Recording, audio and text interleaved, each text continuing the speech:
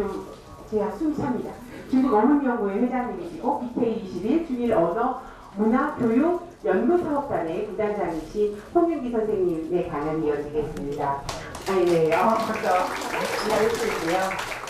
홍윤기 선생님께서는 출, 출사표에 나타난 재발량의 독재 정치 등 다수의 논문을 쓰셨습니다. 국내 명실상부한 삼국지 전문가로서 연구에 매진하고 계시고요. 오늘의 선생님을 모시고 난세가능 조조 삼국지에 대한 강연을 듣도록 하겠습니다. 큰 박수로 다시 맞아주십시오. 감사합니다.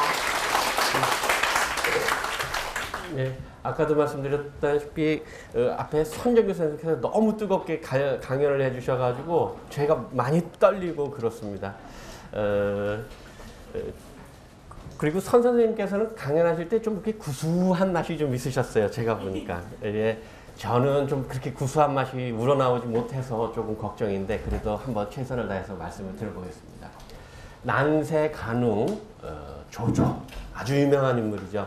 어, 중국 무- 어, 우리나라에서 세계 많은 작품들이 우리나라로 수입됩니다. 수입돼서 우리나라가 사람들이 많이 즐긴 작품 하나를 꼽으라 그러면은 어, 흔히 이제 뭐 성경 얘기도 하고 여러 가지가 있는데요. 이 삼국지가 가장 많은 오랜 시간 동안 가장 많은 사람들의 사랑을 받은 이제 소설책이라고 할 수가 있습니다. 그 소설책을 우리 흔- 우리는 흔히 삼국지라고 부릅니다. 그리고 삼국지에 나오는 여러 영웅 인물들이 나오는데 이제 조조라고 하는 인물이 아주 독특한 인물이 나옵니다. 난세간우 조조. 그러면 들어가 보겠습니다. 자, 우선 어, 강, 강의 드릴 말씀 내용은 뭐냐면 우리가 오늘 이야기될 이야기할 조조는 소설에 나오는 조조가 아니라 역사책에 나오는 조조입니다. 따라서 재미는 좀 없으실지 모르겠어요. 그러나 아 조조가 여러 가지 그 형태 가운데 진실된 조조의 모습에 훨씬 다가간 조조의 모습이라고 이해해 주시면 좋겠습니다. 재미는 떨어져도 오히려 곰곰이 생각해 보면 더 재밌을지도 모릅니다. 자 그러면 어 삼국지라고 하는 것이 그러면 두 종류가 있는 건가? 어, 소설 삼국지가 있고 그러면 역사 삼국지가 있는 건가? 그럼 무엇인가 이게 어떻게 다른가? 그것에 대한 말씀을 더 드리겠고요. 난세라고 하는 것은 그러면 또 무엇인가? 그리고 어, 간웅이라고 하는 것은 또 무엇이고 이 사람은 어떤 나쁜 짓을 저질렀는지 혹은 어떤 훌륭한 일을 했는지를 한번 보면서 우리는 이 인물을 어떻게 평가하는 것이 좋은지 한번 같이 고민해 보도록 하겠습니다. 우선 어, 질문을 한번 하나 이제 해결하는 식으로 한번 해보겠습니다. 삼국지라고 할 때 보면 여기 뜻지자를 씁니다. 삼국지, 삼국은 알겠어요. 세 나라는 알겠는데 뜻지자는 어, 좀 약간 갸우뚱하게 합니다. 이 이때 뜻지자는 기록하다 하는 여기 말씀언변이 붙어 있는 이 글자하고 사실은 같은 글자입니다. 글자를 단지 줄여서 뜻지자를 썼을 뿐입니다. 아, 그러면 기록이라고 하는 뜻이구나. 삼국지의 지는. 그러면 간단하게 보면 사건, 역사를 기록한 것. 세 나라의 역사를 기록한 역사책. 이게 삼국지입니다. 어, 그 다음에 삼국지 연이 이런 이건 또 뭔가 연이라고 하는 말을 또 들어봤을 겁니다. 이 연이라고 하는 글자는 물이 길게 줄줄 흘러가면서 많은 영향을 미치는 것 이게 연입니다. 그럼 뒤에 있는 의는 의리의 의입니다.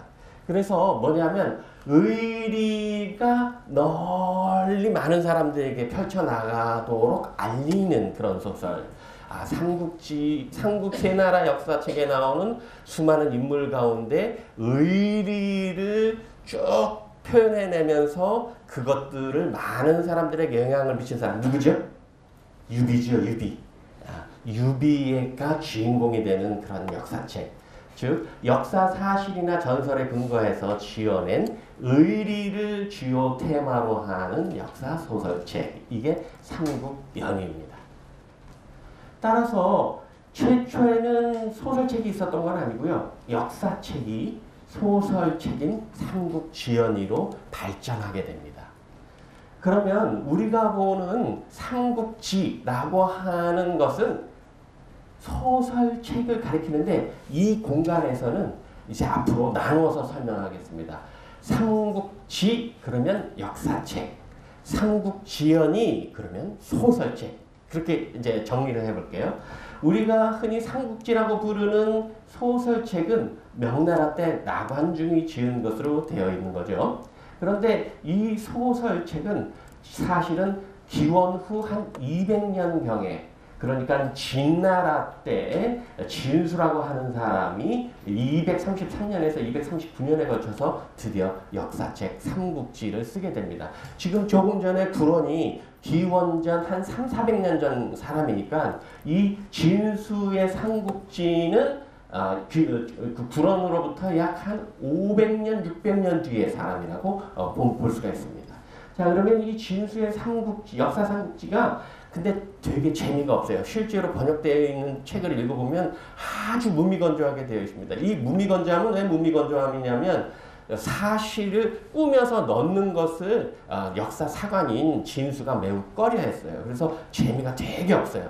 어, 이 재미를 알려면 아주 진짜 여러 번 읽어야 되는데 이게 너무 재미가 없으니까 이후에 한 100년, 150년 지나서 유송 때 그 배성지라고 하는 사람이 여기에 주석을 답니다. 이 원래 가지고 있던 진수의 삼국지에 주석을 다는데 이 주석의 내용이 아주 재미있는 주석들이 많이 들어갔어요. 거기에는 역사책도 주석을 달았고 그 다음에 지금으로 치자면 찌라시 같은 책들 있잖아요. 그런 책들도 같이 주석을 끌고 와서 아주 재미있게 만들어졌어요.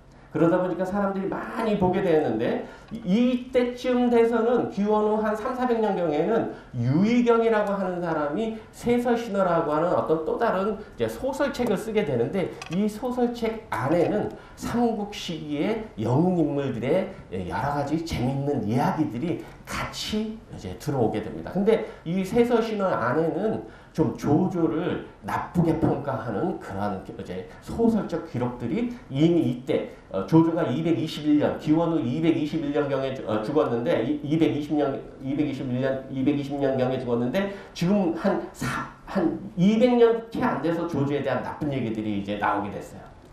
그러다가 이제 어, 이제 사람들이 이 역사의 이야기들을 재밌게 어, 이야기를 하면서 어, 어, 마치 영화의 변사처럼 이 이야기를 꾸며서 전달하는 것들이 하나의 어떤 어, 돈벌이 수단이 되었어요. 그래서 사람들이 이, 이, 이야기를 하면서 자꾸 재밌는 이야기들이 덧붙여집니다. 이 이야기들이 덧붙여지고 얘기만 하기보다는 그럼 공연을 한번 하면 더 흥행이 나겠네. 그래서 어, 공연을 하게 됩니다. 공연을 한 대본들이 지금도 이제 제목이나 대본들이 조금 남아있게 됩니다. 그러면서 드디어 하나의 비교적 잘 가지런한 소설책인 삼국지 평화라고 하는 즉 다시 말하자면 역사 이야기를 재미있는 소설식 구성으로 만들어낸 책이 만들어지고 이러한 것들 속에서 드디어 나관중이 삼국지 통성년이라고 하는 우리가 흔히 말하는 삼국지라고 하는 소설책이 몇 년에 걸쳐서 만들어진 거예요? 약한 1100년에 걸쳐서 계속 이야기가 덧붙여지면서 계속 만들어지는 겁니다. 그러면 우리가 보는 삼국지라고 하는 이 소설책은 나관 중의 삼국지인가요? 아니에요. 또 아니에요. 여기에서 또 청나라 때 모종강이라고 하는 사람이 좀 더 나관중보다 더 재밌게 이야기를 살짝 살짝 살짝 만들, 만집니다. 그래서 우리가 보는 흔히 보는 삼국지라고 하는 것은 모종강이 지은 삼국지입니다. 나관중 것도 아니에요. 자 다음 또 넘어가 보겠습니다. 자 그러면 이번 시간에 말씀드릴 어, 내용은 소설 삼국지가 아니라 지금 빨간색으로 표시되어 있는 거 있죠. 이견 역사입니다. 파란색으로 표시되어 있는 건 소설입니다. 즉 어, 허구로 만들어낸 조조가 아니라 진짜 역사책에 기록된 조조에 대한 기록들을 가지고 보겠습니다. 진실된 조조의 모습에 가깝겠죠. 자, 이게 왼쪽에 보이는 것이 역사 소 역사 삼국지이고요. 오른쪽에 보이는 것이 어, 소설 삼국지 연의인데 벌써 지금 멀리서 보여서 좀 침침하시겠지만 글자가 반듯반듯하죠. 이건 글자가 좀 찌글찌글하죠. 이건 나라에서 만든 역사책이기 때문에 정성을 들여서 만들어서 글자가 반듯반듯하고요. 이거는 개인들이 재밌게 읽으려고 본, 어, 본 어, 찍어낸 거기 때문에 글자들이 좀 찌글찌글하고 그 다음에 여기는 또 이렇게 그림들이 이렇게 있어요. 그림은 왜 이렇게 넣었겠어요? 이건 책 팔아먹으려고요. 아, 그때도 상업, 어, 어, 이 되게 중요하니까 책을 팔아먹으려면 예쁜 그림들이 자꾸 있어요. 자꾸 산단 말이에요. 그래서 훨씬 상업적인 용도에 부합하는 소설책이 만들어졌고 이것의 원류는 사실은 역사 삼국지라고 하는 거. 어, 여기 보면은 어, 글, 큰 글자가 있고 작은 글자가 있죠. 큰 글자가 바로 진수가 기록한 것이고요. 작은 글자가 바로 조금 전에 말씀드렸던 배성지라고 하는 사람이 단 주석의 글자입니다. 다음 넘어가겠습니다.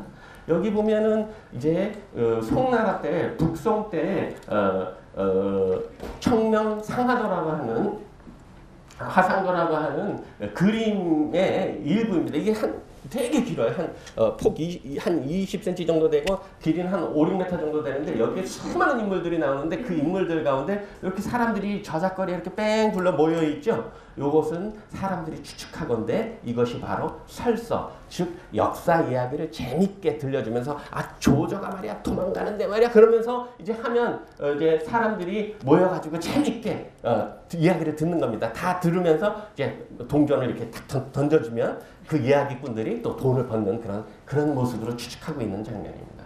다음 넘어가겠습니다. 자 그러면 이제 난세 간웅 이런 말은 많이 들어보셨죠?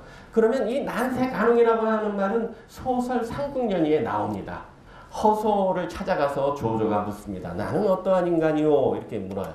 허소라고 하는 사람은 그럼 조조는 왜 찾아갔냐면 허소는 그때 당시에 매월 1일이면 이- 매, 매달 1일이면 사람들을 모아놓고 그때 당시에 살았던 사람들을 평가를 합니다. 어, 이 사람은 A라고 하는 인물은 어떤 인물이고 B라고 하는 인물은 어떤 인물이에요. 이렇게 하는데 평가를 받는데 그 높은 평가를 받으면 그 사람의 가치가 올라갑니다.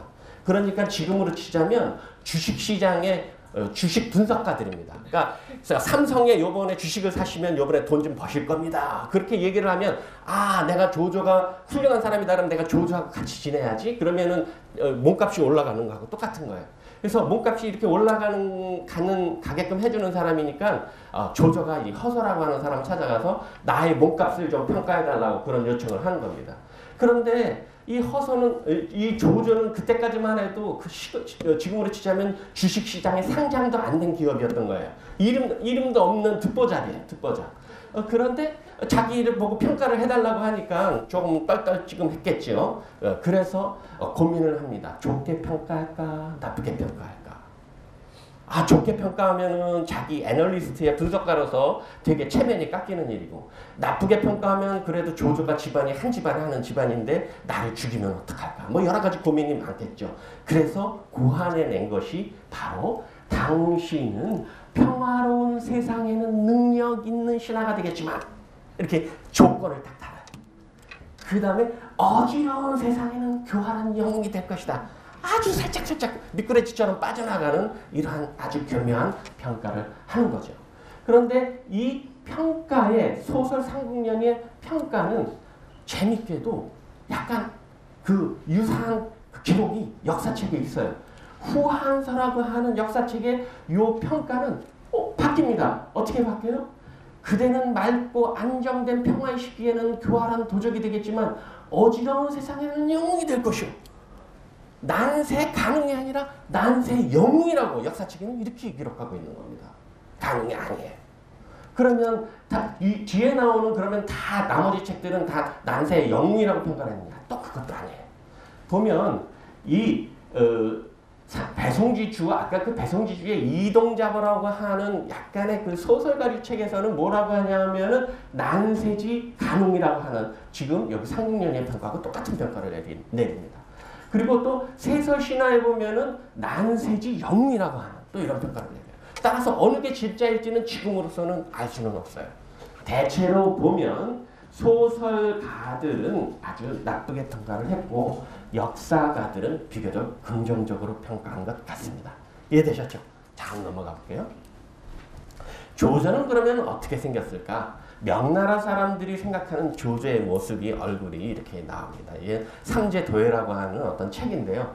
이 조조는 영웅들의 모습들은 전부 다 조금씩 언급이 되어 있어요. 그런데 조조에 대해서는 위- 외모의 인물이 언급이 안 되어 있는데 아만이라고 하는 이 어릴 때 코가 아호를 가지고 있어요. 그래서 아만 할때 그 만자는 눈이 이제 작다 이런 음, 건데 아마 지금으로 번역을 하자면 재진 눈 아마 재진 눈을 가지고 있었기 때문에 재진 눈, 재진 눈 아마 그렇게 불렀던 것 같습니다. 자 보겠습니다. 자 그러면 난세는 어떠한 시기인가? 난세는 아마 어지러운 세상이겠죠. 어떻게 어지러운 세상이냐면 질서가 없는 세상입니다. 위아래가 서로 치고받으면서 전쟁을 벌이기, 때, 벌이기 때문에 사람들이 먹고 살기가 너무 힘들고 어, 자기가 원하지 않는 전쟁에 참전함으로써 죽어가는 세상 이게 난세겠죠. 그런데 이 난세는 어떤 형식으로 이제 난세가 자꾸 만들어지냐 하면 그때 이제 동한 말기가 되면 상층 계급하고 하층 계급이 이제 충돌을 하게 되, 되는데 상층 계급은 뭘 했냐 하면 토지를 변병을 해요. 토지를 막 그냥 돈 있다고 막 토지를 막 이제 이건 내 땅이야 내 땅이야 막 엄청나게 땅을 많이 가지게 되고 황제는 어, 사치에 빠져서 어, 막 물건을 막 물쓰듯이 쓰니까 어, 황궁의 재정이 고갈되겠죠. 그러다 보니까는 재정을 메우려면 어떻게 해요? 제일 좋은 방법은 관직을 팔면 어, 재정이 고갈된 것을 막을 수가 있겠죠. 그런 그런 상황입니다. 그때 당시에 환관 있죠? 환관 후람이라고 하는 사람이 있었는데 이 사람이 가지고 있는 땅이 500만 제곱 평방 제곱미터예요. 이 500만 제곱미터는 어느 정도냐면요. 여의도 면적의 두 배입니다.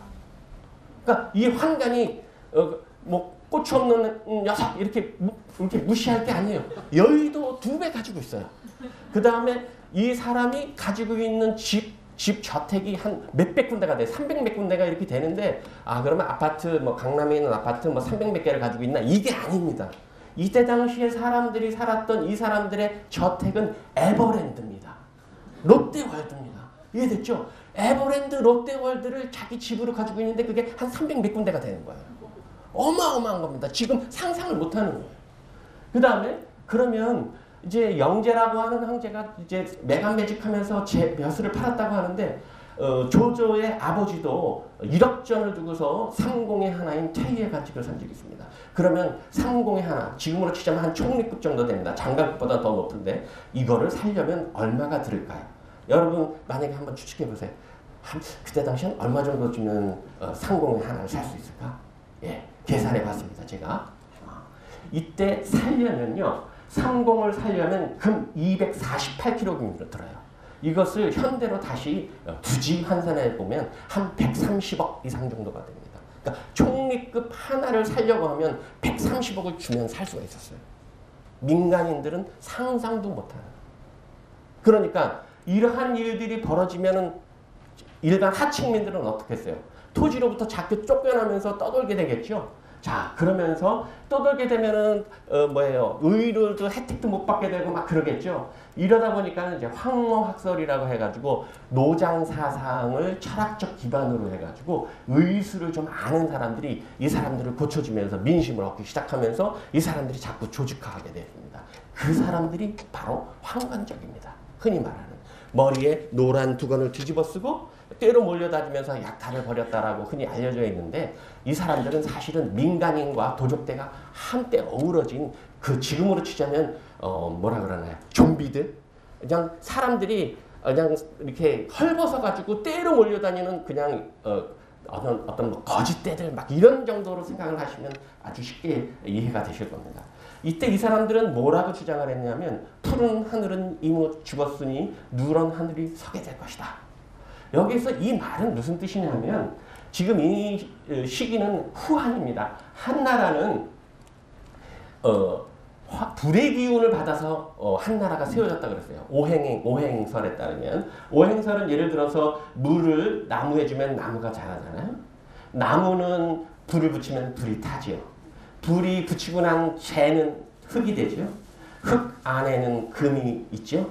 금을 녹이면 다시 물이 됩니다. 이게 오행 상생인데 이게 순차적으로 어떤 이 기운이 오행의 기운이 돌아간다고 당시 사람들은 생각을 했어요.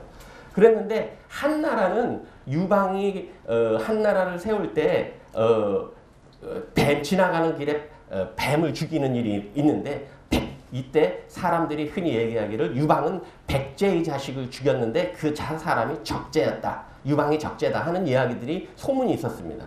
바로 한나라는 불의 기운으로 세워진 나라였는데 이제 다음 이 한나라는 멸망하고 난 다음에 흙의 기운의 나라가 만들어질 것이다.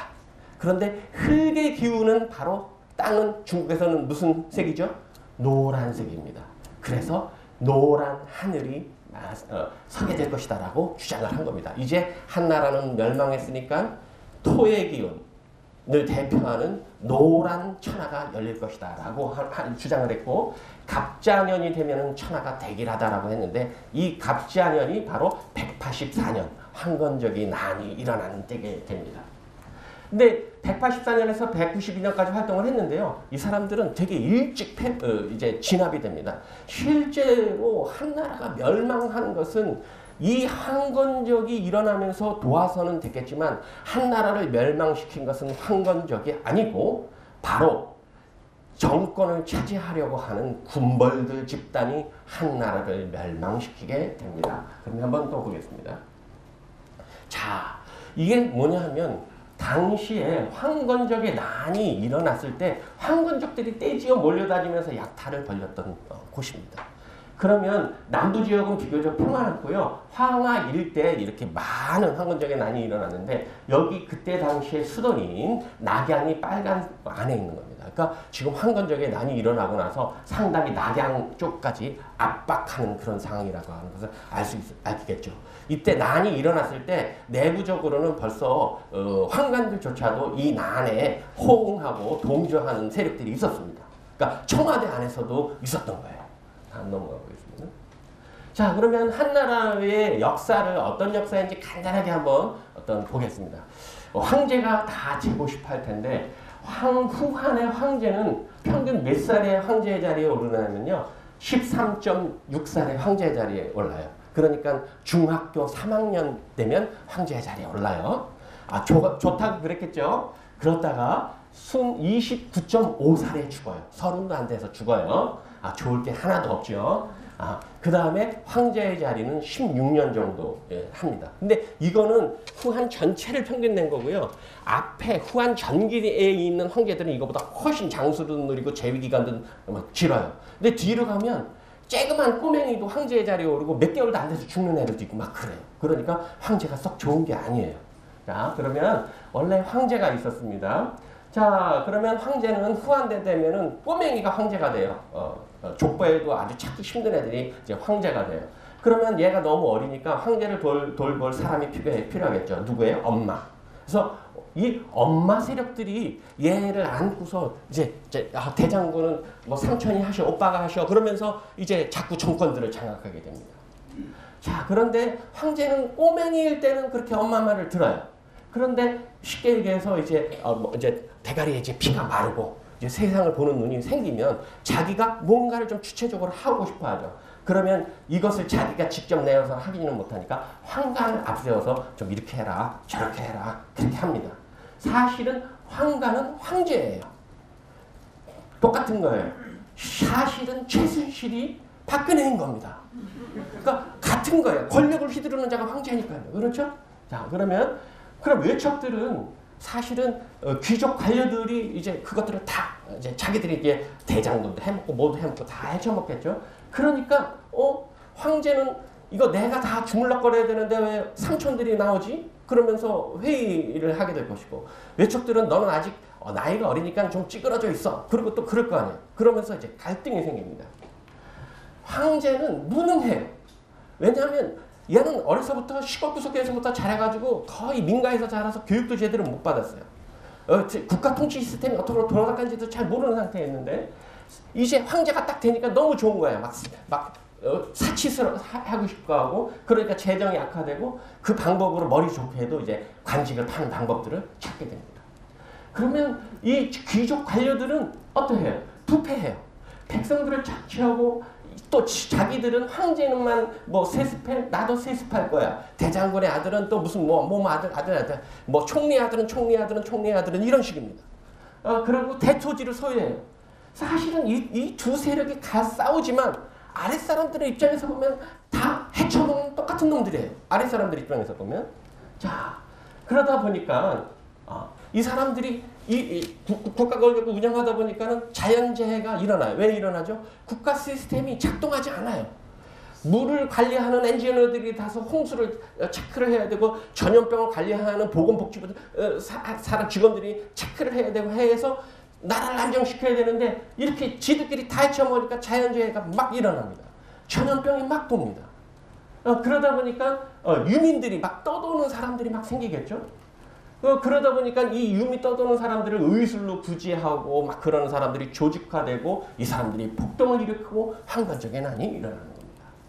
그런 이 난이 일어나면 안 되겠죠. 이 난을 진압해야 될 거 아니에요. 그러면 황제는 귀족 관리를 시켜서 얘네들을 진압해. 이렇게 하는 거예요. 그러면 이제 이제 군사 통치권은 없는 지방 장 어, 군벌들이 어 그러면은 황제가 나한테 군사를 통치할 수 있는 어, 군사 통솔권을 주셨네. 그럼 내가 어, 진압을 해야 되겠네 하면서 진압을 하면서 이제 조금씩 조금씩 중앙 무대로 어, 들어오게 됩니다. 이때 어, 들어온 사람, 이때는 황건적하에서는 싸우면서는 특별하게 어, 능력을 발휘하지 못했던 동탁이지만 어, 동탁이 가장 먼저 들어와서 황제를 드디어 만나게 되고 황제를 황제 자리에서 소제를 쫓아내고 그때 한 16, 15, 14, 한요 정도 되는 황제를 쫓아내고 어, 어, 이제 이제 어, 헌제라고 하는 사람을 이제 황제로 세웁니다. 그러면서 황제를 폐위시키고 새 황제를 옹립해요.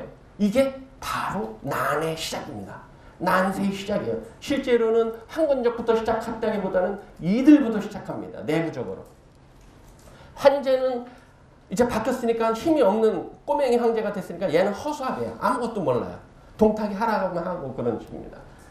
그러면서 이제 지방 군벌들은 어 꼬맹이가 무슨 황제야? 내가 힘센 놈이 황제지. 그러면서 지방 군벌들은 무력 투쟁을 합니다. 원술이라고 하는 사람은 내가 황제할 거야. 원소라고 하는 사람은 바지 사장 내세워서 황제를 이 사람으로 황제가 하는 게 좋겠어. 그러면서 이제 황제를 내세웁니다. 그러면서 이제 지들끼리 막 치고받고 싸우겠죠. 그 가운데 세 가장 강력한 세 개의 군벌이 살아남죠. 누구죠? 바로 위, 촉, 오 를 대표하는 세 개의 세력이 살아남게 되고 이 세 개의 세력이 이제 국가 시스템을 만들기 시작을 합니다. 그러면서 국가 시스템을 만들고 나서 드디어 자기가 황제의 자리에 오르고 삼국시기 즉 위초고 세 나라가 만들어지게 됩니다. 그러면서 후한은 통일 후한은 이제 분열된 삼국으로 나아가게 되는 거죠. 사실은 외적의 침입이 아니, 아니었고 내부 소수의 권력 독점에 의한 내부 분열이 후한을 멸망시켰던 겁니다. 지금 한번 중국 지도를 한번 볼게요. 당시에 어떤 식으로 되냐면 지금 어, 빨간 선이 보이는 부분이 이제 후한의 수도 낙양입니다. 그 다음에 동탁이 낙양을 불지르고 장안으로 가게 되는데 두 번째 보이는 빨간 선이 이쪽이고요. 그 다음에 녹색 선이 이렇게 보이는데 이 세 개의 서- 녹색 가운데 이 부분이 바로 어, 삼국 어, 시기에 벌어졌던 최대 세, 3대 전쟁 하나는 어, 어, 관도지전, 하나는 적벽지전, 하나는 이릉지전이 벌어졌던 곳입니다. 그 다음에 여기 이곳은 어, 유비가 어, 어, 총나라를 세웠던 성도이고요. 여기는 어, 손권이 어, 오나라를 세웠던 건업, 지금으로 치자면 남경입니다. 유비는 지금 이쪽 지금 북경 일대에서 어, 활동을 했었고요. 조조는 비교적 수도권 사람입니다. 어, 그 다음에 손권은 지금 여기 하, 어, 이 남부 지역에서 주로 활동을 했었고요. 그 다음에 관우랑 관우는 어, 요, 지금 수도권 어, 장안과 낙양 사이의 어, 사람이고요. 그 다음에 제갈량은 산동 사람입니다. 그 다음에 동탁은 서북, 서북쪽 지역 사람이고, 그 다음에 여포는 몽골족 사람입니다. 여포는 몽골족 사람이고요. 그 다음에 원소도 조주하고 가까운 지역의 사람, 수도권 사람이고요. 그 다음에 공선차는 변방 사람입니다. 이 사람들이 이제 치고받고 싸우면서 이제 세 나라로 이제 어, 줄어들어가게 되는 겁니다. 조조는 어떤 사람인가? 조조는 황간 집안 출신이에요. 실제로 보면은 어, 이 사람이 조조인데 조조는 황제에 오른 적이 없어요. 이 사람이 이제 조, 아, 조조의 아들 조빈데 이 사람이 이제 위나라를 세웠고 황제가 됐는데 그러면 조조의 아버지는 조씨인가? 아니에요.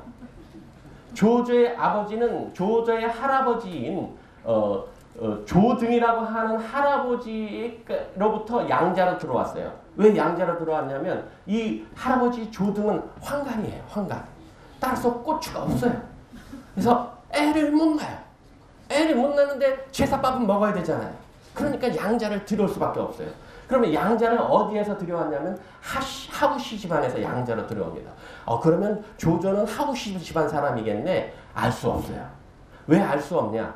지금 하후씨 집안 사람이라고 하는 얘기는 역사책 안에서 특정 챕터 안에 조씨 집안 장군들과 하후씨 집안 장군들을 한 chapter로 같이 묶어놨기 때문에 후세 사람들이 아 조조는 하후씨 집안일 가능성이 높다 이렇게 추측하는 거지 조조가 실제로 하후씨 집안인지는 여기 지금 역사를 쓴 사람들도 모른다라고 얘기했어요. 그때 사람들도. 그러면 아, 그럼 조씨 집안이 아니라 양자로 들어갔으면 그럼 조등은 조씨 집안인가요? 조조의 할아버지? 아니에요. 이 사람도 조씨 집안이 아니에요. 이 사람의 아버지는 조절인데 이 조절도 환관이에요. 그 고추가 없어요, 이 사람도. 이 사람도 애를 못 낳아요. 그러니까 실제로 이 조절도 모르는 거예요. 아무도 몰라요. 조조는 그 혈통으로 누구 집안 출신인지를 아무도 모르는 사람입니다. 그러니까 지금으로 치자면 흑수저예요, 금수저예요. 당연히 금수저는 아니지만 은수저는 됩니다. 은수저는 되지만 흑수저들한테도 손가락질 받는 사람이에요. 쟤는 어, 없는 집안애야. 이렇게. 지, 쟤는 돈 많지만 권력은 가지고 있지만 속닥속닥 없는 집안에 없는 집안. 뭐가 없는지는 잘 아시죠?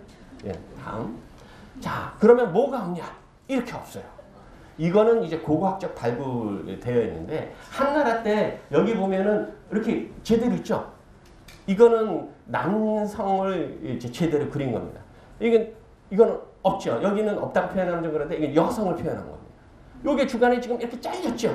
요게 지금 황간을 표현한 겁니다. 지금 잘린 거. 이해되셨죠? 없는 거예요. 없는 집안. 다음 넘어가겠습니다.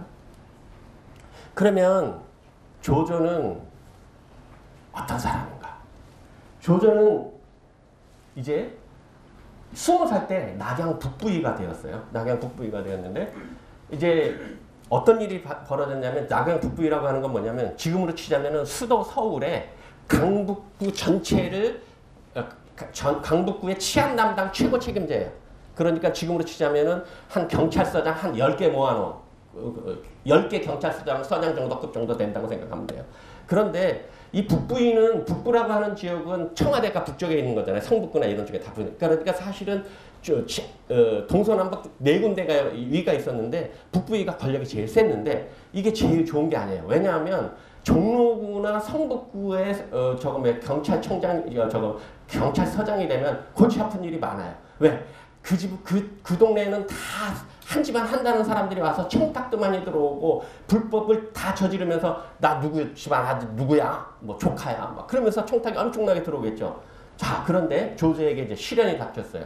자, 자기가 이제 북부 이제 지역의 경찰서장 노릇을 스무 살 때 하는데 대, 대딩이 1학년이 이제 하는데 갑자기 비서실장 혹은 청와대 정무수석급 정도 되는 황제로부터 가장 사랑을 받는 건석이라고 하는 사람이 있었는데 이 사람도 황간이에요.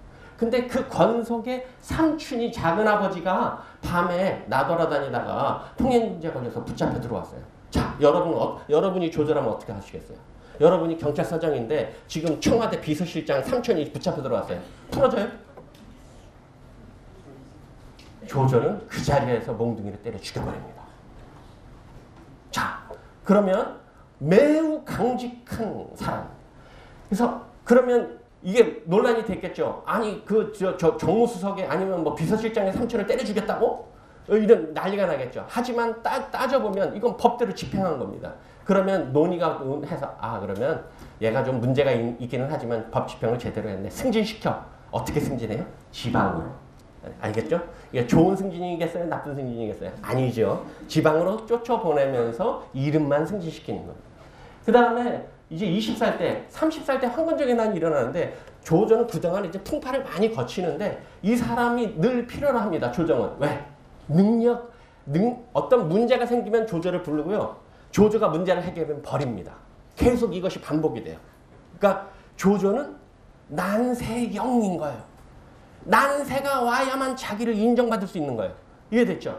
그러면서 어, 황 이제 그 가운데 뭐 황제를 황제 이렇게 귀염을 받는 사람들도 막 쳐내고 그 다음에 그 지금도 마찬가지지만은 어, 종교 세력과 권력 정, 어, 권, 권력을 의탁한 세력들을 다 쳐내고 하는 하면서 이제 어, 어, 조, 조조가 정치 생활을 합니다.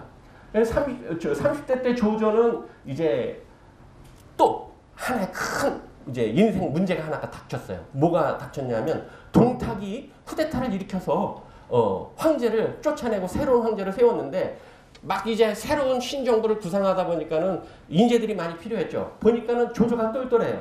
어 그래? 조조 너 이리 와. 내 밑에서 일해. 이랬단 말이에요.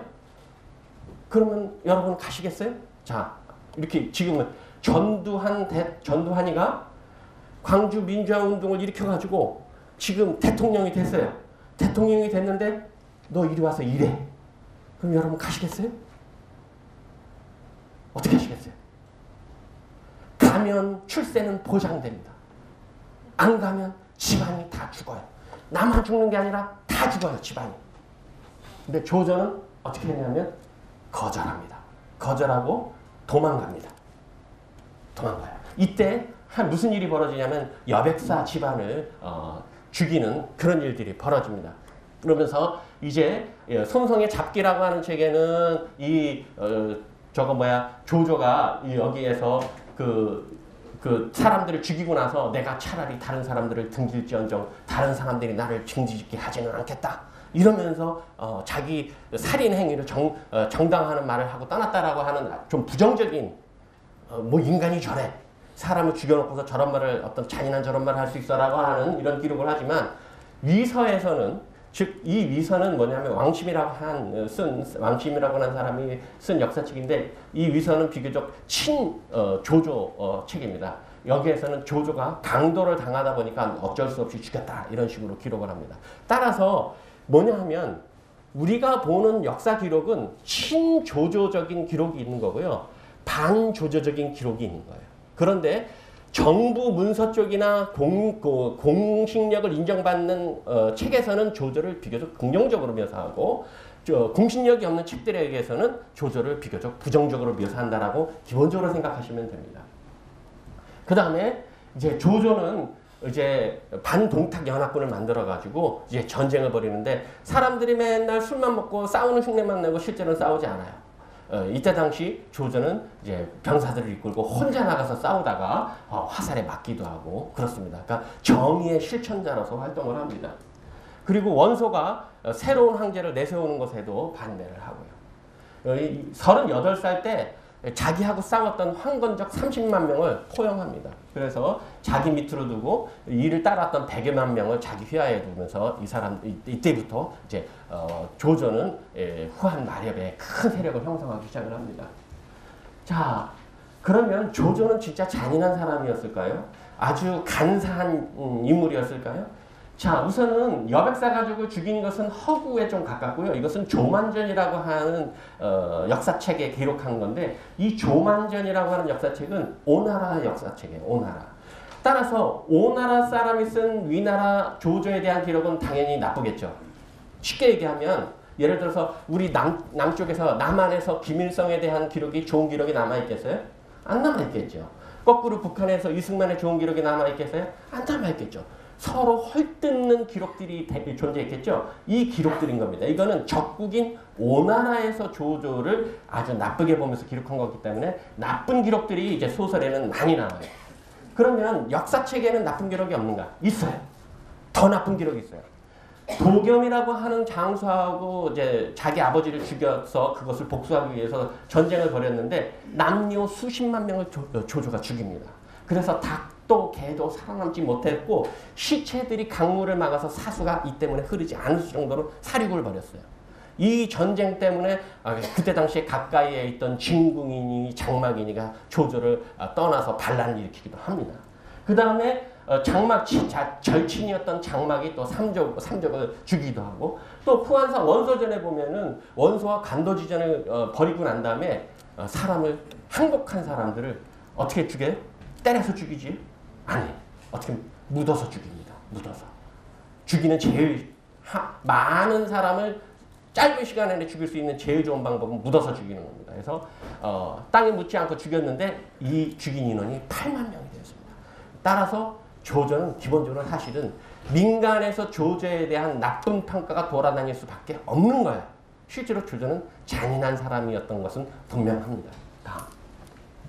40세 때 이제 황제를 맞아들여서 이제 드디어 황제를 보필을 하고요. 그 다음에 생산에 힘써요. 뭐냐면 조조가 이제 사회를 통치하는 키워드는 두, 두 개입니다. 하나는 전쟁이고 하나는 생산입니다. 그래서 조조가 이제 둔전제라고 하는 것을 만들어서 생산에 힘쓰는데요. 둔전제라고 하는 것은 어떤 거냐면 전쟁통에 어, 토지가 다 버려져 있잖아요. 다 이제 어, 버려져 있으니까 이때 어떻게 하냐면 어, 주인도 알 수 없으니까 어, 백성들이 이제 막 오면 어 그래? 어느 땅을 어, 네가 그쪽을 경작하도록 해. 대신에 경작하는 대신에 세금은 어, 반대 반이다. 50대 50이다. 정확하게는 이제 6대 4 혹은 이제 우리 어, 관가에서 가, 지고 있는 소를 가지고 갈았으니까 6대 4 우리가 6 너네가 4다. 아니 아니면 어, 개인들이 가지고 있는 소를 가지고 갈았을 때는 이제 여기 좀잘 잘못됐네 5대 5다 이렇게 했는데 세금이 상당히 센 거지 한 5대 5 정도 되니까 근데 그 당시에 백성들은 이게 너무 기쁜 거예요. 오디오래도 어디예요? 어? 아무것도 없던 사람이 토지를 하나도 갖지 못했던 사람들이 토지를 갖고서 농작물을 만들고 이것을 국가에 반만 맞추면 자기는 먹고 살 수 있으니까 이때 갑자기 비약적으로 생산력이 늘어나기 시작합니다. 그리고 사람들이 조조의 밑에 따라 들어가서 어, 군전을 가고 싶어 하죠. 자, 이제 50대 때 드디어 이제, 이제 잘 나가는 50대입니다. 욕심을 부리다가 이제 고꾸라지게 되는데 이제 뭐냐 하면 이제 조조가 50대 어, 때 이제 어, 원소 세력을 완전히 자려 세력을 무찌르고서 북쪽 지역을 평정을 하면서 내려오다가 갈석산이라고 하는 곳을 지나다가 시인 스입니다. 한번 볼게요. 어, 바닷물은 어찌 저리 드넓고 어, 산 같은 성은 우뚝 섰나 해와 달은 아마도 그 사이에서 떠오르겠지. 미린의 눈부심도 아마 그 속에서 떠오르겠지. 그러니까 지금 이 시 안에는 해, 달, 우주 뭐 다 있는 거예요. 자기 눈에 보이는 것은. 그러니까 우주를 품었다라고 하는 이런 평가를 받는 이 시입니다. 그러니까 아주 지금 이제 어, 기운이 충만한 그런 시기가 이제 50대입니다. 그러면서 이제 슬슬 이제 황제 쪽으로 다가가고자 하는 움직임이 조금씩 보입니다. 이제 승상이 돼요. 상공제도를 폐지하고 이제 자기가 황제 밑에 최고의 권력자인 승상이 되고자 하고요. 그 다음에 형주 지역에 있던 유종으로부터 항복을 받아내게 있죠. 그러다 보니까는 싸움을 걸었는데 어, 원활하고 싸움을 걸었죠. 적벽에서 크게 패하고 됩니다. 근데 상국연예에는 적벽지전을 보면 엄청나게 이제 멋있게 서술되어 있는데요. 위나라 역사책에는요, 어, 조, 이 적벽대전에 관한 기록은 딱 20장가 22장가 그래요. 어, 내용은 이래요. 어, 전쟁을 벌였는데 전염병이 많이 들어서 돌아서 배를 자기가 불태우고 그 다음에 병사를 데리고 다시 돌아왔다. 이게 다네, 다예요. 그러니까 적벽대전이 그만큼 엄청나게 했다라고 하는 기록들은 어떻게 보면 아닌 거예요. 그 그리고 그 기록들은 대부분 어, 촉서나 오서에 좀 남아있던 것들을 매우 가장되게 표현한 것들입니다. 다음. 이제 순욱을 죽이고 이제 뭐위 공에 오르면서 이제 어, 사실은 조금 이제 말년의 마무리를 어, 짓게 됩니다. 그러면서 결국은 자신은 황제 자리에는 오르지 않아요. 오르지는 아, 않고 어, 새로운 왕조의 기틀을 마련하고 이제 낙양에서 66살로 이제 죽습니다.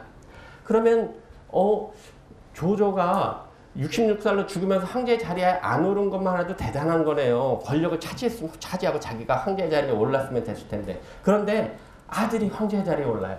조조가 220년 3월 15일에 죽었는데요. 그 아들은 12월에 12월 28일에 28일에 아들 조비가 황제 자리에 올라요. 어떻게 오르냐면 그러면 뭐 예를 들어서 이런 겁니다. 어, 아 황제가 헌제가 아 나 이제 황제 그만할래. 덕이 많은 어, 조비 당신 그러니까 조제 아들이죠. 당신한테 황제의 자리를 넘겨줄게요. 그러면은 조비는 아 저는 못합니다. 한번 사양해요. 그러면 또 그 자네가 해야지. 그러면서 넘겨주면 아 못합니다. 또 해야지. 못합니다. 이번 세 번 쇼를 벌이면서 황제를 넘겨주냐 바냐 쇼를 벌이면서 드디어 그럼 제가 하지요. 이렇게 하면서 황제 자리에 오르는데 평화적으로 옮겨간 것 같지요. 그런데 실제로는 아니에요. 뭐냐 하면 조비가 자기가 황제의 자리를 받을 때 조비는 북쪽 이제 업성이라고 하는 곳에서 대규모 병력을 이끌고서 황제가 있는 허도라고 하는 곳 코앞 17km 앞까지 대군을 앞두고서 갑니다. 17km 코앞까지. 그러면 그 앞에서 엄청난 지금 대군이 수만 명이 있는 거예요. 그러면서 어 이제 짐짓 자꾸 얼쩡얼쩡 거리는 거예요. 그러면 황제는 이제 줄 수밖에 없죠. 황제의 자리를. 그러면서 했, 한 거예요. 하지만 궁극적으로 이런 생쇼를 벌이기는 했지만 궁극적으로 보면요. 이, 이 생쇼 이전까지 중국 역사에 있어서 전설상의 요순우 시대를 제외하고서는요. 최초로 평화적인 정권 교체가 아니라 왕조 교체를 한 겁니다. 이, 역, 이 이전에는 왕조 교체에서 이렇게 평화적으로 왕조 교체를 한 적이 없어요. 이게 이거는 대단히 주목할 만한 왕조 교체였다. 비록 생초였기는 했지만. 다음. 조전은 상당히 잔인한 측면도 있었습니다. 어, 공용이라고 하는 사람을 죽이기도 했고요. 공용은 공자의 20세 손입니다. 네, 공자의 20세 손인데 이 사람은 아주 꽉 막힌 사람이에요. 어, 지 잘난 척만 하고 자기가 공자 집안 사람이 있네 하면서 조조를 너는 없는 집안이냐 그리고 깔보고 대놓고 깔보고 했던 사람이었고요. 그다음에 순욱은 어, 고, 저, 조조로부터 어, 늘 충성을 다하다가 조조가 자꾸 어떤 한나라를 차지하고자 하는 그런 모습을 보, 이자 반대를 합니다. 위공에 오르는 것을 반대를 하니까 조조가 도시락 빈 거를 보내죠. 도시락 빈 거. 보고서 빈 도시락 어, 저 조조 승상께서 도시락을 보내왔습니다. 딱 보니까 아무것도 없어요. 빈 도시락이에요. 그래서 이제 자살을 합니다. 이 빈 도시락의 의미는 여러 가지가 있겠죠. 너 네가 지금 어떻게 먹고 살고 있는데 어? 이, 이 내가 밥 너 챙겨주고 있어 그런 의미도 일차적으로 들어갔겠지만 또 하나는 뭐야 한나라는 한 나라는 실제로 한 나라는 밥 없는 도시락에 지나지 않아 껍데기에 지나지 않아 어? 그런 의미도 있었겠죠. 그 다음에 이제 양수도 죽입니다. 이 양수라고 하는 사람은 바로 이제 유명한 어, 닭갈비 그러니까 먹자니 이제 구찮고 안 먹자니 조금 아, 아깝고 한 그런 어, 양 어, 그런 얘기를 만들어낸 양수인데 양수는 죽이는 이유는 많은 사람들이 왜 죽인 조조가 양수를 총명해서 죽였다 그러는데 총명해서 죽이긴 마, 맞아요. 근데 이 양수는 누구를 지지했냐 하면 조비와 아들 그러니까 조조의 아들이 대표적인 이제, 어, 이제 경쟁 관계에 있는 두 아들이 조비가 있었고 조식이 있었는데 조비가 맏아들이고 조식은 맏아들이 아니었어요. 그런데 이 양수는 맏아들이 아닌 조식을 지원했어요.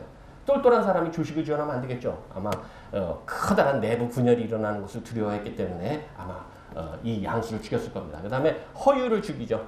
허유는 관도지전이 벌어졌을 때 정보를 어, 제공했던 그런 사람입니다.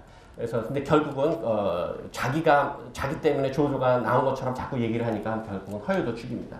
하지만 이러한 잔인한 점도 있었지만 때로는 되게 도량의 큰 인미력이 됐어요. 자기한테 반란 일으켰던 사람들을 용서해 주기도 하고요. 어, 진궁을 어, 죽이기는 했어요. 진궁을 죽이기는 했지만 그 진궁의 딸을 거둡니다. 조조가 진궁의 딸을 거둬서 결국은 진궁의 딸을 시집까지 보내요. 조조가. 그러니까는 어, 자기를 죽이려고 했던 진궁을 죽이고 그 대신 딸은 거둔 그런 거고요. 그 다음에 이거는 어, 일반 사람은 도저히 흉내낼 수 없는 건데요. 조조가 누구하고 싸운 적이 있냐면 장수라고 하는 사람하고 싸운 적이 있어요. 장수라고 하는 사람하고 싸운 적이 있었는데 조조가 좀 여자를 밝힙니다. 그래가지고 이 장수의 숙모가 있었는데 숙모가 예쁘다 그러니까는 숙모를 자기 분영으로 데리고 왔어요. 그러니까 이때 장수, 어, 장수는 항복을 한 상태였어요. 조조하고 싸우려고 그러다가 항복을 한 상태였는데 너무 모욕적인 거예요. 자기 숙모를 조조가 이제 데리고 가니까. 그래서 군영 안에서 반란을 일으켜가지고 조조가 이제 죽을 뻔한 일이 벌어졌는데 이때 누가 죽냐 하면 장남인 어, 조앙이라고 하는 장남이 이때 장수한테 죽어요. 그 다음에 어, 조카인 어, 조안민이라고 하는 사람이 이때 죽어요. 그러니까 맏아들하고 조카가 죽고요. 이 사건 때문에 조조는 이혼을 합니다. 어, 조조는 이혼을 해요. 어, 어, 어, 아들들 데리고 가서 어, 다 죽여놓고 와가지고 어, 당신이 어, 아버지 노릇한 거야 막 그러면서 이제 바가지를 긁혀가지고 결국은 주, 이혼을 하게 합니다. 이, 혼을 하게 되는데 그 장수를 결국은 자기 휘하에다 둡니다. 원소와 관도지전을 벌이기 직전에 이 자기 아들을 죽이고 조카를 죽이고 자기를 이혼을 하게끔 했던 이 장수를 자기가 결국은 품습니다. 자기 편으로 만들어요. 일반인은 할 수 없는 것이죠. 그 다음에 이제 또 전쟁이 벌어졌을 때 진림이라고 하는 사람이 이제 조조를 욕을 하는데 조조만 욕하는 게 아니고 조조, 조조 아버지, 조조 할아버지까지 욕을 해요. 없는 집안이라고. 어, 그래가지고 그 욕을 하니까 그때 당시 너무 잔인한 욕이고 자존심 상하게 하는 욕인데 결국은 진림을 자기 휘하로 어, 거둡니다. 그래서 이러한 포용력을 가지고 있는 사람입니다. 부지런히 공부했어요. 조조는. 어, 군사 관- 전략에 관한 10만 자의 책을 썼고요. 군대를 30년간 지휘하면서 손을 놓은 적이 없어요. 그리고 낮에는 군사 전략을 강의했고 밤에는 경제의 뜻을 생각했어요. 그 다음에 아까도 손자병법 얘기를 했는데 손자병법에 관한 지금까지도 손자병법에 관한 해- 주석 해설서가 제일 유명한 게 10가주 혹은 11가주 손자병법이라고 하는 책이 있는데요. 이 가운데 최고의 가치를 인정받는 게 바로 조조의 손자병법 강의가 최고의 인정을 받고 있어요. 근데 여기에 보면은 이렇게 얘기해요. 공자님께서는 이렇게 말씀하셨다. 양죽을 풍, 양식을 풍족케 하고 병사와 병기를 풍족케 하면 백성들이 정치가를 믿을 것이다라고 말씀하셨다. 따라서 나는 정치하고 그다음에 배- 통치를 하는 데 있어서는 어, 네, 경제, 전쟁 이 두 가지가 제일 중요하다고 생각한다라고 이제 서문을 써내려갑니다. 그런데 조조가 이렇게 멋진 사람은 아니에요. 이제 조조가 죽으면서 남긴 유언서가 이제 발견이 됩니다. 어, 이제 황궁 도서관에 있던 사서를 지냈던 어, 육기라고 하는 사람이 있었는데요. 황궁 도서관에서 저 책자들을 정리하다가 어, 조조의 유언장을 발견을 해요. 이 육기가 바로 누구냐 하면 그 조 유비하고 싸웠던 그, 그 육선 아시죠? 육선의 손자가 육기입니다. 근데 어쨌든 어, 어, 여기에 보면 어, 되게 쫀쫀해요. 어, 이 조조라고 하는 인물이 되게 쫀쫀한 인물이었다. 한번 볼게요. 내가 군대에서 법령을 엄격히 집행하였는데 이는 옳다. 내가 부렸던 작은 분노나 큰 잘못은 배워서는 안 된다. 괜찮죠? 그런데 한번 볼게요. 여, 되게 여, 여자를 밝혔어요. 나의 궁중의 여성 관리들과 노래하고 춤추는 여인들은 모두 늘 동작제에 지내도록 할 것입니다. 그러니까 이 사람이 원래 정처로 삼고 있는 부인도 가, 어, 이제 어, 가수 출신이에요. 어. 나중에 원래 처음부터는 아니었지만 신분이 되게 낮은 사람이었는데 자기 정처로 삼거든요. 그러니까 노래하고 이런 거 되게 좋아하는 겁니다. 그래서 어제 동닥제라고 하는 공연 세트장을 만들어 놓고 자기가 죽은 다음에 자기 무덤을 향해서 공연을 하라고 그래. 어. 어, 그리고 어, 또 뭐냐 하면 죽은 다음에 이 얘기까지 유언해 남겨요. 남은 향, 자기가 죽을 때 향 피울 거 아니에요. 그 향을 여러 부인에게 나눠주도록 해라. 아, 지금에서 보면 그 향 버려도 그만이고 써도 그만이지만 이걸 유언으로 남깁니다. 이걸. 그 다음에 남은 향을 제사에 쓰라고는 하는 않겠다. 이게 이제 좀 봐주는 거예요. 그 다음에 내가 남긴 여름 옷과 겨울 옷은 다른 상자에 넣도록 해라. 따로 보관할 필요가 없는 것은 너희 형제들이 나눠 가지도록 해라. 이게 바로 조조의 또 다른 인간적인 모습입니다. 그러니까 우지를 품은 사람이기도 하고 향 남은 거 죽은 뒤에 지가 신경 쓸 필요도 없는 일에 대해서 좀 신경 쓸 사람이기도 하고 또 한편으로는 좀 뭐예요 그 어, 자기가 이제 복- 복수를 할 사람들은 철저하게 복수를 하고 사람들을 죽이기도 하지만 자기 아들을 죽인 사람까지도 품을 수 있는 참으로 헤아릴 길이 없는 그런 인물이기도 합니다. 자 진수에 대한 총평으로 마무리를 짓겠습니다. 평 이제 진수가 이제 조조의 평전 무제기를 이 무제기를 쓰면서 마지막으로 한 평, 평은 간단하게 이것만 읽어보겠습니다. 오로지 그의 현명한 국가 운영 계획이 가장 뛰어났기 때문에 천하의 기틀이 되는 국가 권력을 총체적으로 관리할 수 있었고 위대한 국가 사업을 이룰 수 있었다. 그는 그러면 어떠한 인간이냐? 이렇게 얘기합니다. 그는 생각건데 어떤 인간이냐면 그는 보통의 여느 사람이 아니라 한 시대를 뛰어넘는 호걸이었다라고 평가할 수 있을 것이다. 뭐라고 해요? 초세지걸. 그러니까 아, 난세지 간웅이라고 하는 평가도 받았을 것이고 어, 만, 나, 어, 난세지 영웅이라고 하는 평가도 받았지만 역사서에서는 최종적으로 이런 평가를 받습니다. 세상을 한 시대를 뛰어넘는 걸, 걸출한 인물이다. 이렇게 평가를 했다고 합니다. 예, 오늘 저의 에, 강의는 여기서 마치도록 하겠습니다. 감사합니다. 박수 부탁드립니다. 네, 좀 덥죠. 덥죠. 다음 시간에는 그 저희가 2주 후에 하는데 다음 주에 저희가 조금 더 냉방을 신경 쓰도록 하겠습니다. 시간이 좀 늦었는데 질문 하나만 받아도 될까요? 아, 네. 네. 여기 한 분만 딱 듣고 가도록 하겠습니다.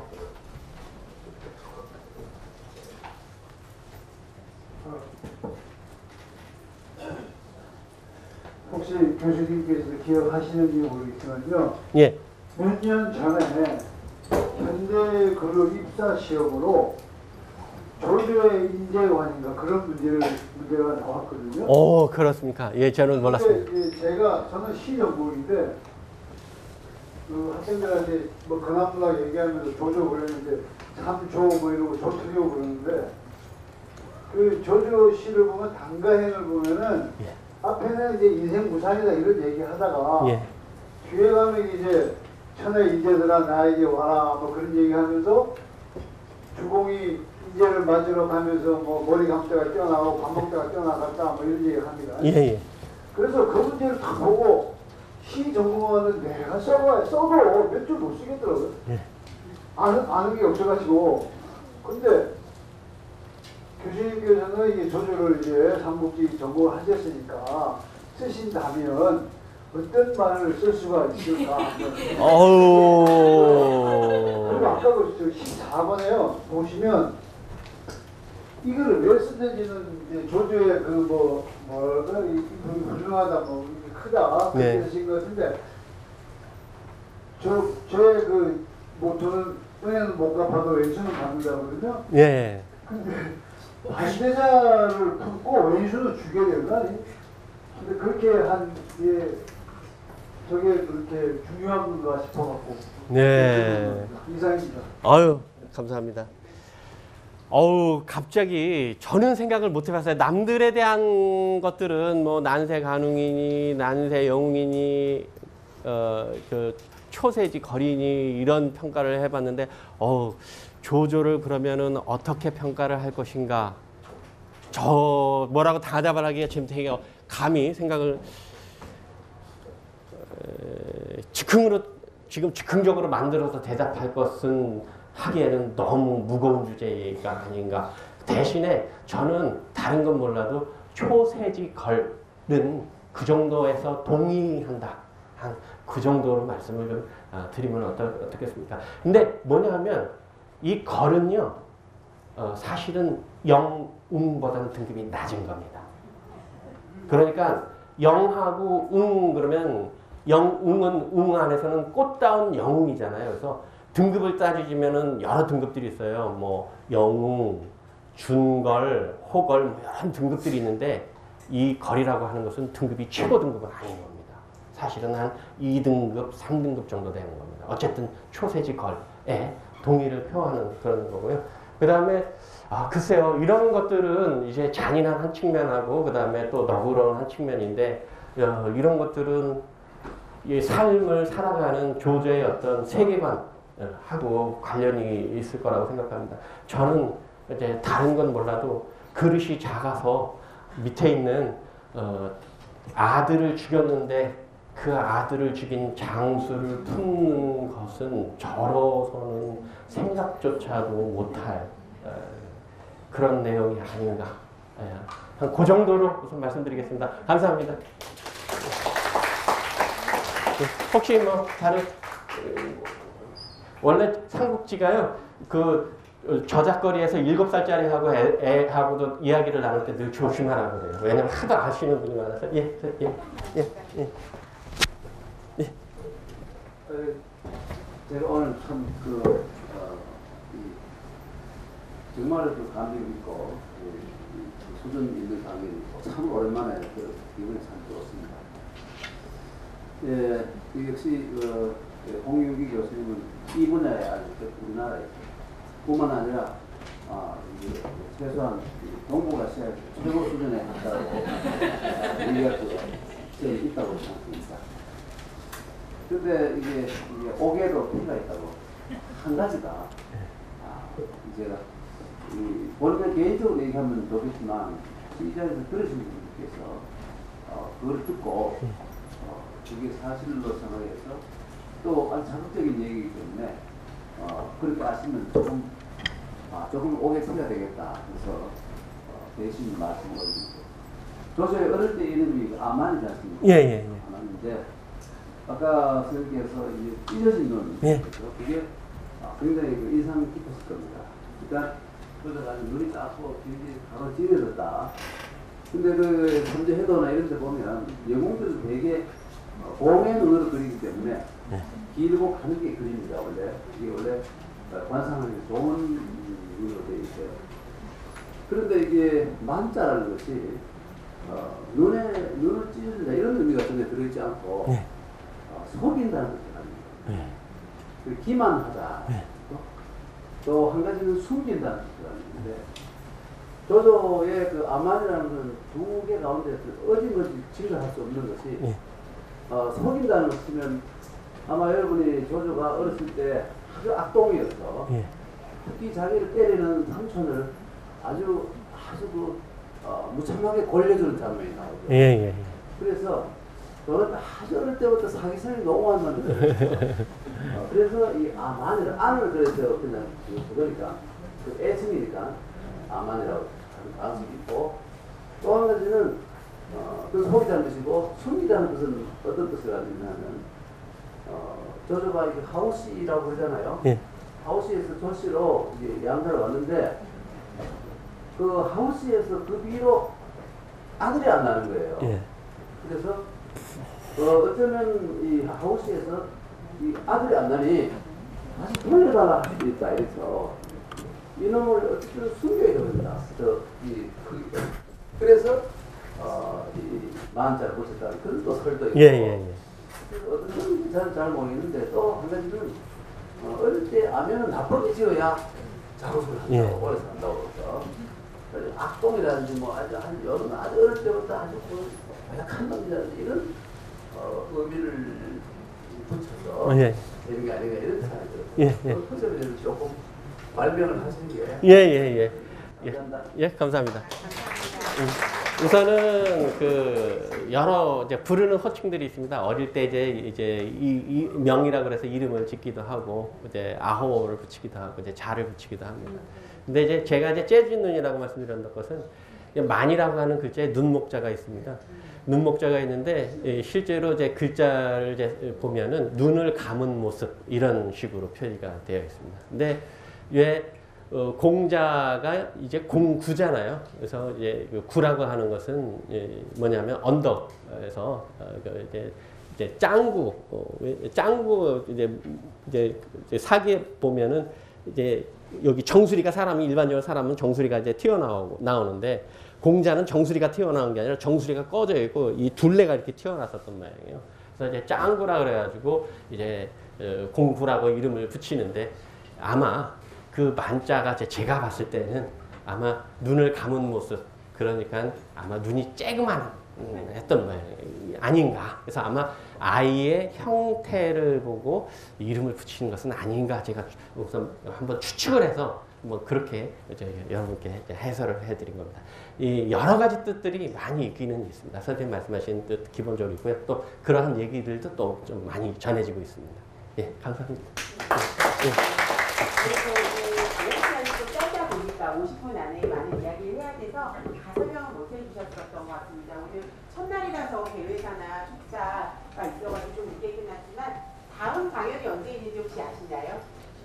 네, 2주 후에 있습니다. 어린이날 대체휴일이 있어서요. 그날 저도 강연을 합니다. 선생님들께서 많이 와주셔서 응원해 주시면 또 좋은 강연이 될 수 있을 거라고 생각이 들고요. 그날은 좀 더 나은 모습으로 뵐 수 있도록 할게요. 그날 가져오셔야 되는 게 있습니다. 오늘 나눠드린 자료집 예, 가져오시면 그날 또 계속 이어서 어, 이야기를 들려드릴 수 있을 것 같습니다. 오늘 강연의 끝까지 참여해 주신 여러분께 대단히 감사드리고요. 2주 후에 뵙겠습니다. 감사합니다. 네, 감사합니다.